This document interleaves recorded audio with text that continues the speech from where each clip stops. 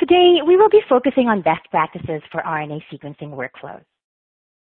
And just to set the expectation, this is meant to be a very high level overview.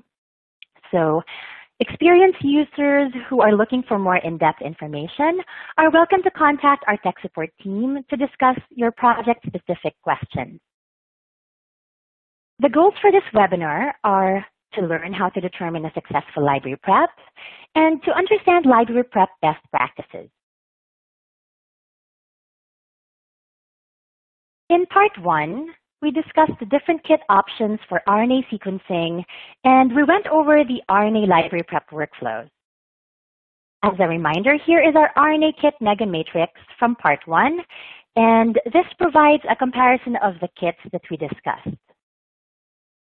So continuing on from this, after we've completed our selected workflow, we would need to understand what a successful library prep looks like.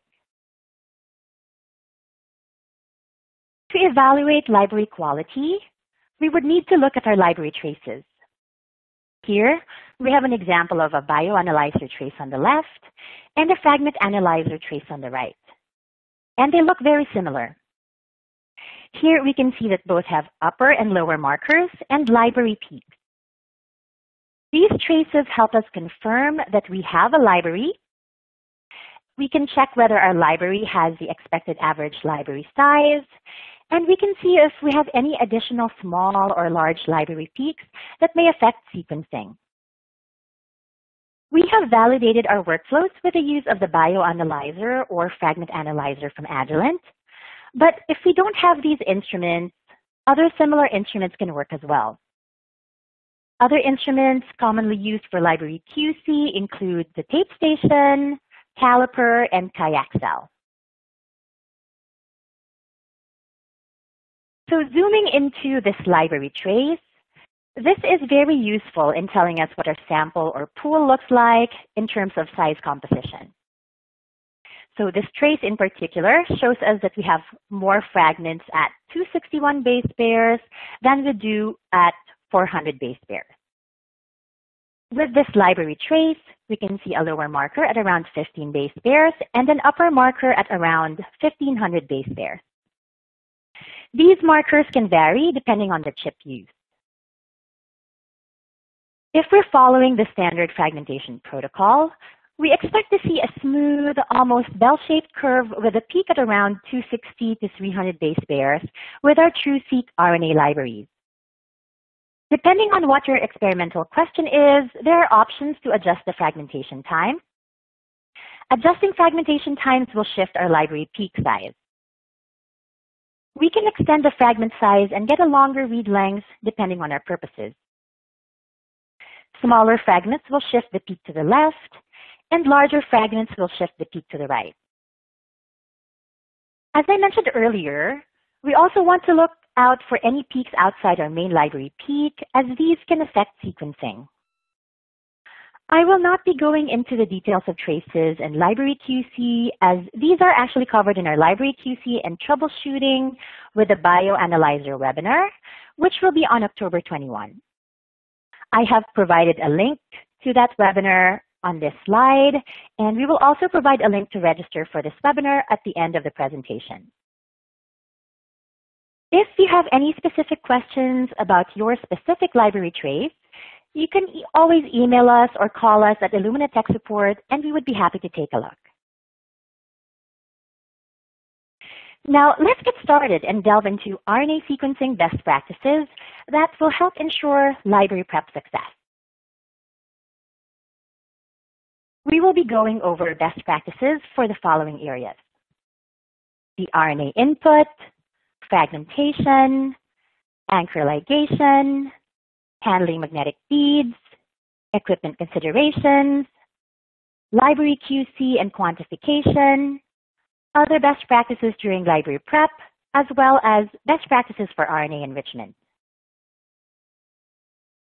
Let's start with input best practices. When we're working with RNA, we want to evaluate RNA integrity or RNA quality as this has a major impact on library prep performance. It will also determine which library prep kits can be used with your sample. We measure RNA integrity in terms of RIN, RIN, which stands for RNA integrity number. You may also hear a similar term, RQN or RNA quality number, which is used with a fragment analyzer. These numbers give us an idea of the quality of our RNA and how intact it is. And this is based on the entire electrophoretic trace, including the 18S to 8 to 28S ribosomal peak ratio. RIN is specific for mammalian samples, so if you're working with non-mammalian samples, check the literature to see how RNA integrity is assessed for your specific samples. In this image, the top trace shows an example of RNA with a RIN value of 10. Here, we see nice sharp peaks indicating intact RNA for the 18S and 28S regions. The middle trace shows a RIN value of 5, and here we can still see peaks at 18S and 28S, but we also start seeing more fragments at the smaller molecular, molecular weight region. This middle trace indicates degradation of our RNA, and this can be seen in our FFPE samples or samples that have been stored for a long period of time. At the bottom here is an example trace for strongly degraded samples. And you may notice that we can't distinguish the 18S and 28S peaks anymore, and there is an abundance of smaller fragments.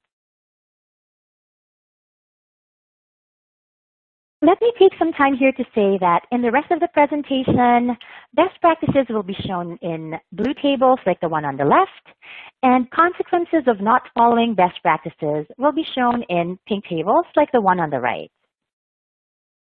For best practices related to RNA integrity, let's keep in mind that for TruSeq RNA V2 and our stranded mRNA kits, we are using poly A selection, so we want the RIN values to be equal to or greater than 8.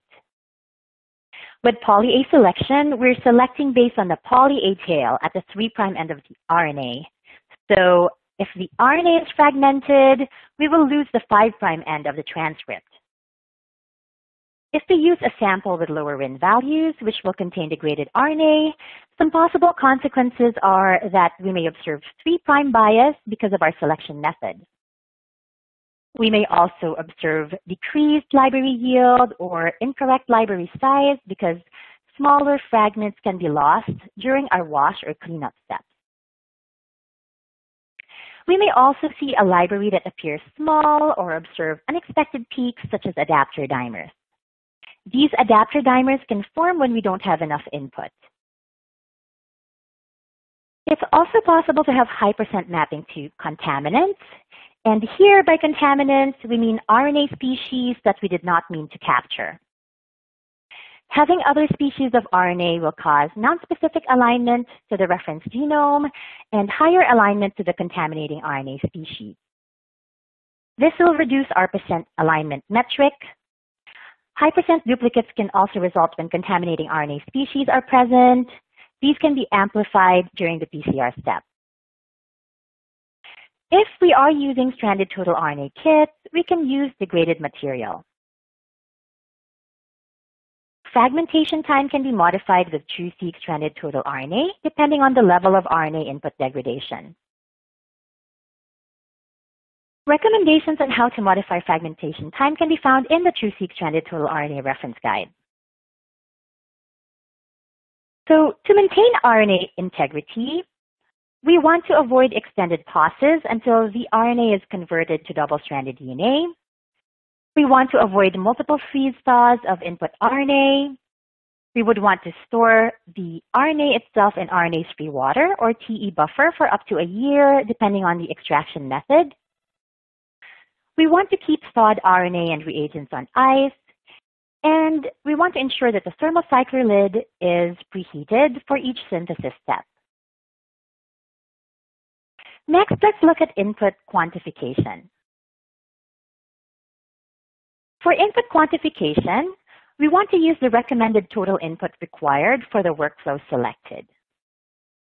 Some of our kits have the option to start with previously purified RNA. So if you have your own method of purifying RNA, you can start with your purified input. And this is typically less than the amount of total RNA required. We do recommend using a fluorometric-based method for quantifying RNA and not a spectrophotometry-based method such as the nanodrop. UV spectrophotometry methods tend to be inconsistent for quantification and is not appropriate for our purposes. Nanodrop can be used to assess the purity of our RNA samples, not the quantity. We also recommend DNase treatment to get rid of DNA contamination. And most commercially available RNA extraction kits include a method for DNase treatment. So what are the possible consequences of inaccurate quantification? Similar to low RNA quality, we can get no or low library yield, unexpected peaks in library size, low percent alignment, high percent mapping to contaminants, high percent duplicates, bias, and for our stranded kits, we can also have reduced percent strandedness. Now, let's look at our RNA selection and depletion steps when we're purifying total RNA. With our mRNA kits, we perform poly-A selection, and with stranded total RNA methods, we perform rRNA depletion. If using poly-A beads, RiboZero beads from our legacy RiboZero rRNA depletion kit, or RNA Clean XP beads, we want to ensure that we do not freeze the beads. Once frozen, these beads lose their ability to bind to magnets and reagents appropriately, so they are no longer usable. With our new RiboZero Plus method, which uses enzymatic depletion rather than bead pull down for our RNA depletion, we use RNA Clean XP beads for cleaning up our RNA, not for our RNA depletion. We want to ensure that all these beads are at room temperature for 30 minutes because um, cold, cold beads do not function as efficiently. So this is an important step. We also want to prepare fresh ethanol for bead cleanup steps. And we want to ensure that the thermocycler lid is preheated and that it's capable of 0.1 degree per second ramping for best results. Now let's go over fragmentation best practices. For intact RNA, we suggest using the recommendations provided in the protocol. This gives us the best coverage and most uniform coverage across the gene. Fragmentation time can be modified, but this can lead to reduced coverage across the transcript. If using degraded material, such as with stranded total RNA, keep in mind that we don't want to overshorten our libraries and fragmentation time can be adjusted with our TruSeq stranded total RNA kit based on RNA integrity. Possible consequences of altered fragmentation conditions include decreased library yield and less uniform coverage across the gene. The importance of uniform coverage can depend on your experimental design. If you're looking at differential expression, you may not need even coverage. But if you're looking at transcript assembly, then you may want to stick with a recommended fragmentation time to get even coverage across the gene. Modification of fragmentation time is only applicable to TruSeq stranded total RNA and not Illumina stranded total RNA. Next, let's look at anchor ligation best practices. As a reminder, our Illumina stranded mRNA and Illumina stranded total RNA kits use anchors for adapter ligation. This is in contrast with our TruSeq stranded mRNA and TruSeq stranded total RNA kits, where we directly ligate index adapters onto our cDNA fragments. When using Illumina stranded mRNA and Illumina stranded total RNA kits, keep in mind that there are RNA index anchors and that these RNA index anchor plates are green and these wells are single use only. The RNA index anchor will be separate from the index plate. We would want to add the reagents in the order listed and add the stop ligation reagent with STL buffer before the cleanup step. If these best practices are not performed, it can result in inefficient addition of adapters or formation of incomplete libraries, resulting in low yield. Now, let's go over best practices for handling magnetic beads.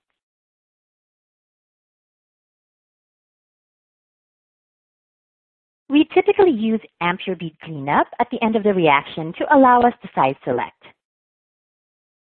Based on the ratio of bead solution to sample, we can select fragment sizes to retain for the next step.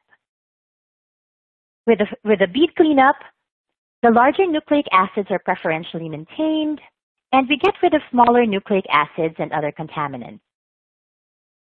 You can find a lot of resources on how this process works by performing a web search for how Ampure beads work. The benefit of using Ampure beads is that we retain more of our samples than if we perform a gel purification, and the use of these beads is also automation compatible. So how does this work? Our sample will contain double-stranded DNA, enzymes, adapters, primers, and other reagents that we've added to the reaction. We will add beads, which will bind to double-stranded DNA. And based on our bead to sample volume ratio, we can retain specific sizes. Then we will put our tube up to a magnet and the beads along with bound DNA will bind to the magnet the enzymes, and everything else would be left behind in solution. We will then remove the supernatant, perform an ethanol wash, and elute the, the double-stranded DNA from the beads, leaving the beads stuck to the magnet, and then we transfer the sample to the next step.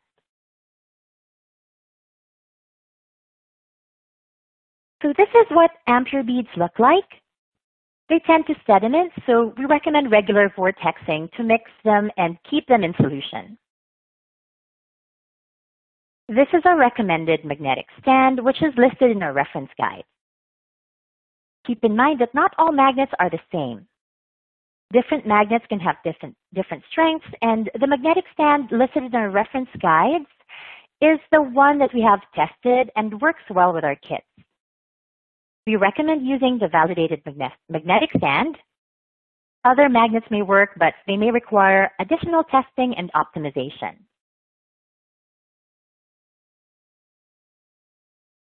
Here we have an example of what the beads will look like during the workflow. In well 1, we have no beads, and you can see that the solution is clear. In well 2, the beads are mixed with the solution in suspension, and we can see a brown slurry. In well 3, we see the beads beginning to congregate near the magnet. The solution still has beads in, suspen in suspension, but the beads are starting to create a pellet. In well 4, the beads are completely bound to the magnet and the well is clear. This is what we want to see before we remove the solution and proceed with a wash. We do have a video entitled TruSeq Sample Purification Bead Size Selection and Best Practices in our training page, and I've provided the link here for your reference. Now, for best practices when using magnetic beads, as I mentioned earlier, these beads need to be at room temperature, so make sure that we allow enough time for them to come to room temperature. Using cold beads can affect bead performance. The beads are in a viscous solution. They are dense, so they tend to settle.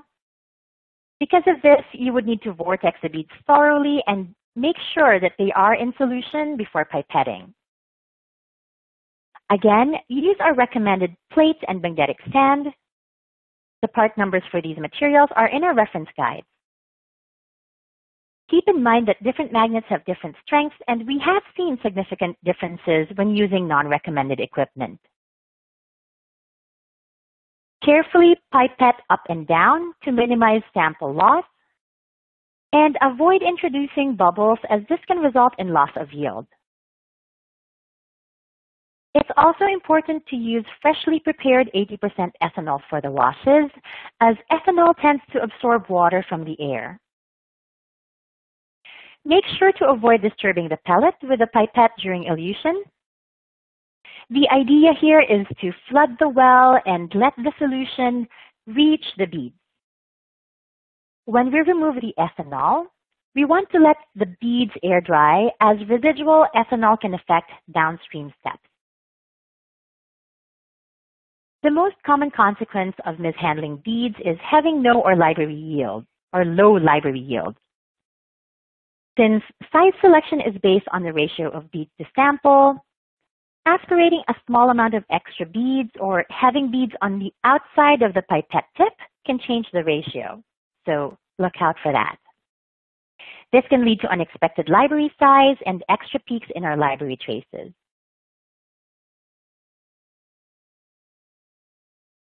Next, let's proceed with best practices related to equipment.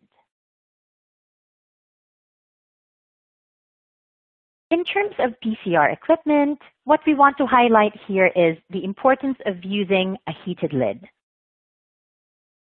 The image on the left is a microsealed PCR performed with a heated lid.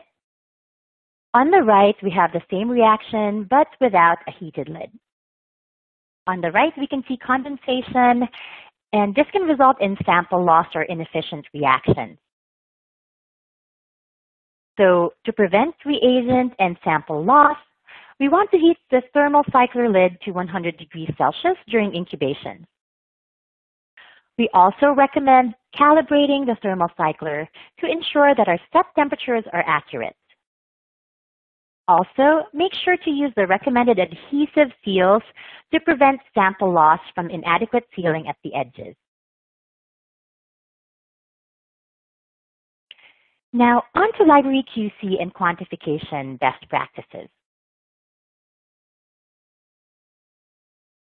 Once we have our final library, we want to perform library QC before moving on to sequencing. We recommend checking the quality of our libraries with a bioanalyzer, fragment analyzer, or a similar instrument as we discussed earlier in the presentation. We can check for our library size or for the presence of unexpected peaks like adapter dimers and bubble products. If we have high yield, it is possible to overload the chip, which can result in high peaks that don't make sense. In this case, we would dilute and reload with the appropriate concentration range. We can find example traces in the Check Libraries section of the specific library prep reference guide. I have also linked a couple of technical bulletins here, and these discuss adapter dimers and bubble products. You can hear more about these peaks at our library QC and troubleshooting with a bioanalyzer webinar next month. And as always, feel free to reach out to our tech support team for questions about your specific library traces. For quantification, we recommend using qPCR for best practice qPCR is the best method to avoid unexpected cluster density as it measures complete libraries that can cluster on the instrument. Qubit measures all double-stranded DNA in a sample, so it can measure incomplete libraries that will not cluster on the instrument. This can lead to overestimation of our library concentration and to underclustering on the sequencing run. Additionally, Qubit will not accurately measure libraries with bubble product, which has both single-stranded and double-stranded components.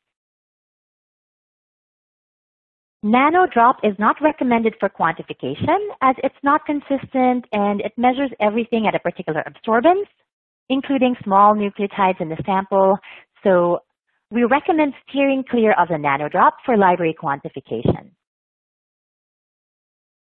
Some consequences for using the wrong library QC and quantification methods would be unexpected cluster density, either overclustering or underclustering, which can reduce sequencing output.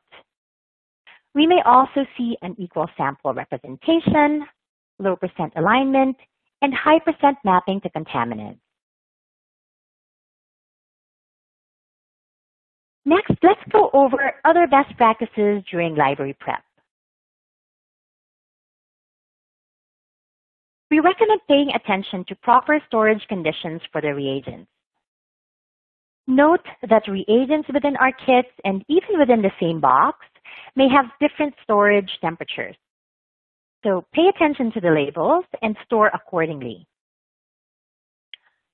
Avoid multiple freeze thaws by aliquoting reagents. Multiple freeze thaws can affect reagent performance, especially with enzymes.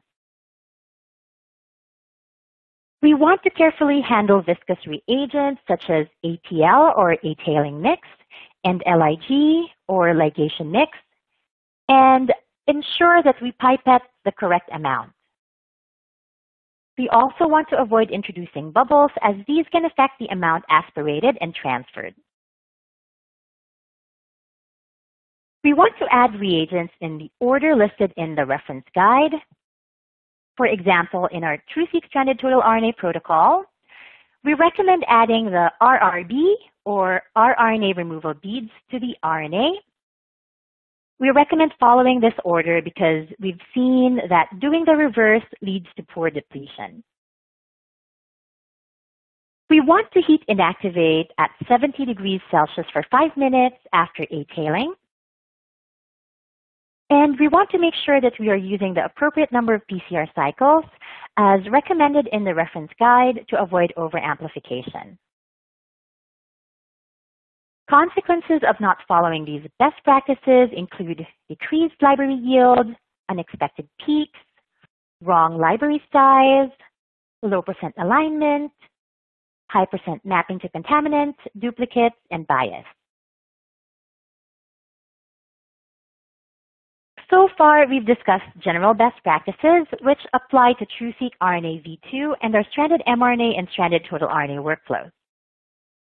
Now, let's take a minute to discuss best practices for the Illumina RNA prep with enrichment workflow, which is enrichment-based.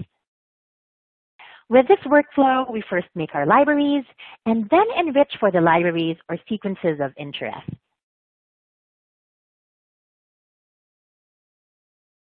With this workflow, we want to ensure again that the beads used, such as EBLTL and Ampure XP beads, are brought up to room temperature. As mentioned for other bead types, cold beads do not work as efficiently, and these beads should never be frozen. We want to ensure that we fully resuspend the beads to make sure that we're aspirating a similar concentration of beads each time or for each sample. We also prepare fresh 80% ethanol. When we are storing the beads or handling the beads, make sure that they are submerged in solution so they do not dry up. In terms of index adapters, the index adapter plate wells are single use to avoid contamination. Keep in mind that we would want to select the appropriate number of cycles for the PCR program, as the number of cycles used will vary based on the RNA input quality.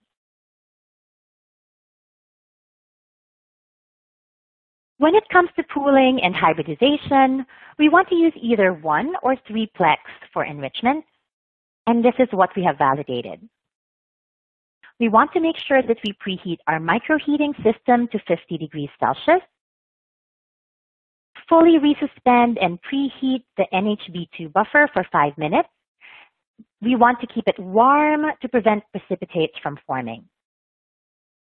We also add the hybridization reaction reagent in the order listed.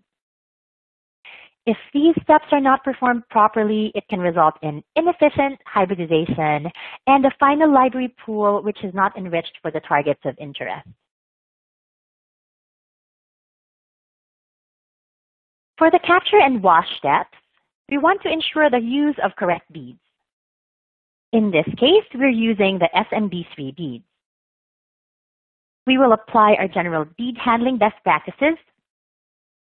Again, we need to preheat our microheating system and EEW reagent. We also want to ensure that the thermal cycler runs continuously throughout the capture and wash step. And the elution master mix needs to be prepared fresh with HB3. These steps will ensure that we are enriching for or capturing our targeted library. And finally, we want to follow best practices for bead cleanup and ensure that the correct cleanup beads are used at the right conditions, just as we discussed earlier with bead handling best practices.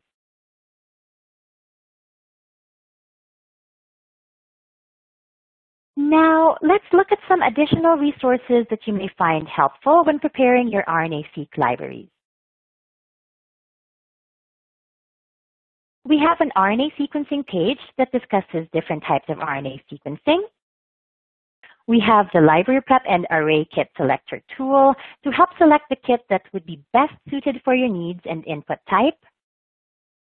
The gene panel finder that, you, uh, that can help you identify existing panels or library prep kits based on your gene of interest a link to the sequencing methods review containing summaries of some peer-reviewed publications relevant to RNA sequencing. We also have links to our recorded webinars on small RNA sequencing, introduction, and best practices for those of you who are interested in small RNA sequencing. We also have a link to the recording of part one of the RNA-seq webinar series here, and links to the product and support pages for the RNA kits discussed in part one.